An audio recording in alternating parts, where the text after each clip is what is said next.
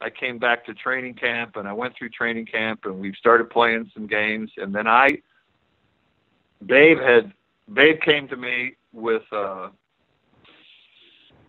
I'd already gotten a check, so I had some money.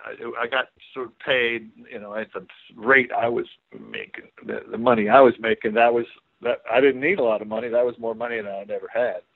But they made sure that I got.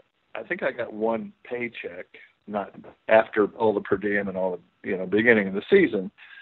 But we kind of started the season, and he came to me in the hallway out at the Mid South Coliseum after a game, and he said. Uh, I mean, if you, you could hear Babe the way he talked, and he said, "Call me," you know, kind of stuff. and uh, he says, "We got a problem. The the the, the team's going broke, and uh, we can't even afford 11 players. So I've got to let somebody go. And so it's either you or it's Lee Davis.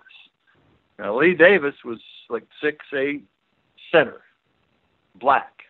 He was big, huge teddy bear of a guy. Great guy. I, I, he was my friend. I played with him the year before. Married, he's got two kids, couple several years older than me. And so Babe says it's either between you or Lee. And I think Lee needs this job more than you do. and I kind of, I kind of tended to agree with him because Lee really did need that job.